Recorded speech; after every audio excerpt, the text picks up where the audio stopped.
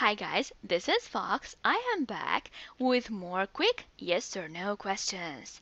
Okay, let's see. First question Do frogs need water to survive?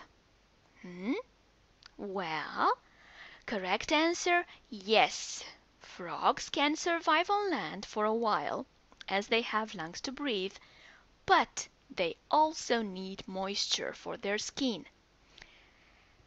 So, frogs need water to survive. It's a yes question. Second question Do caterpillars turn into butterflies?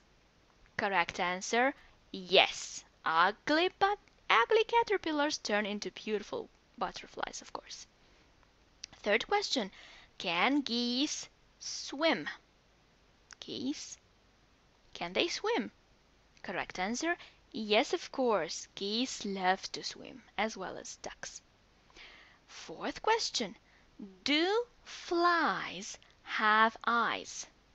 Yeah, those annoying creatures called flies.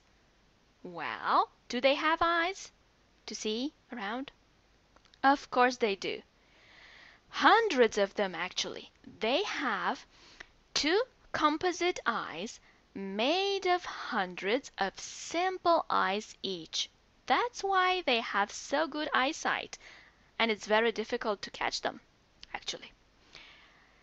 And the last question for now Are there six letters in the word mother? Well, are there? Let's count them.